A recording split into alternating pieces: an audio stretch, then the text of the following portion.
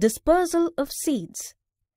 In order to prevent overcrowding and competition for air, water and nutrients, seeds need to be dispersed away from the parent plant.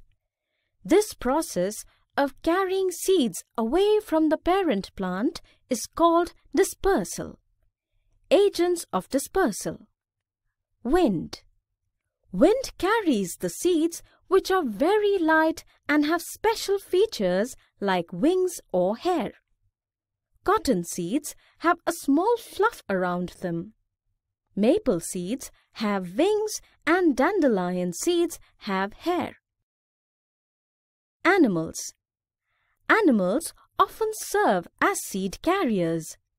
Some seeds have hooks, hair, bristles or spines and are transported by sticking onto the fur of animals or on the clothing of human beings.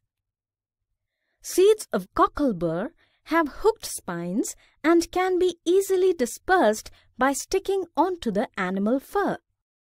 Birds and other animals eat fleshy fruits and discard the seeds, leading to their dispersal. Sometimes they may eat the fruit and swallow their seeds.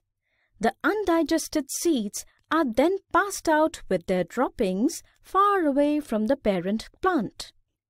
Water The fruits of most water plants have waterproof coverings that allow them to float and disperse their seeds by water.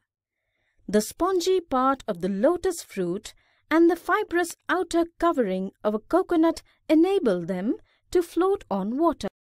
Explosion Some fruits scatter their seeds by explosion on ripening.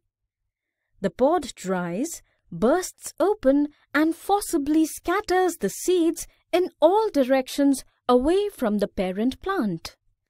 Peas, beans and ladyfinger seeds are dispersed by this method.